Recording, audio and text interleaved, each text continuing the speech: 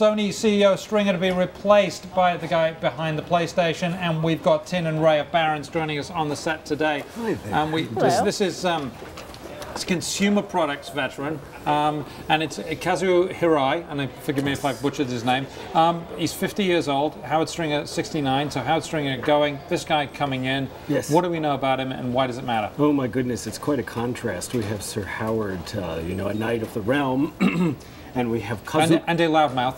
Well, you know, he's a very distinguished gentleman, and Yeah. he's staying on as chairman. He's not going away. They said he's Oh, a good. key asset. Uh, and Kazuo Hirai, uh, who I've met before, is we used to run. Um, this is uh, Computer Entertainment of America division, which is identified with the PlayStation and is their beachhead in America to uh, to dominate the, the video game console category. And he's kind of impish. He's very uh, energetic and, and very personable. And I guess.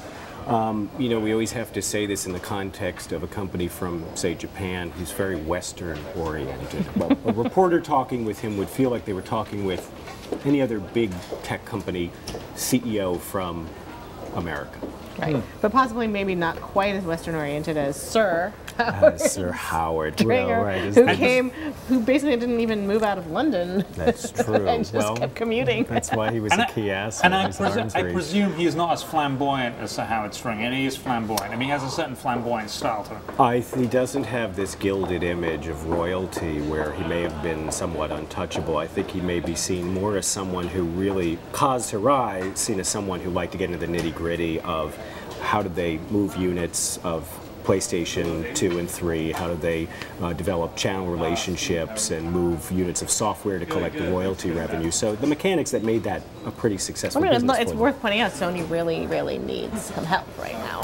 They do need some help, and aside from the fact that Not you know, like HP does, but yeah, they do a little not bit as now. Well you know there's similar elements here which is one thing is the balance sheet and the income statement. You know revenues may fall 5% this year. Free cash flow is negative. It may inch up a little bit in this coming year.